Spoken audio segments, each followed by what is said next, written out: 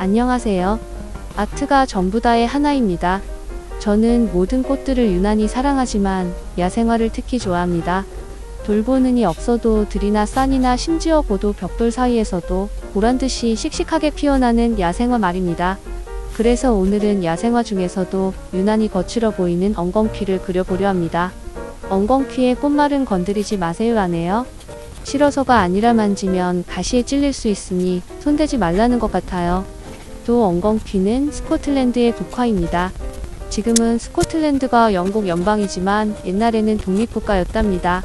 언젠가 책에서 읽은 내용인데 스코틀랜드는 덴마크의 공격을 자주 받았다네요.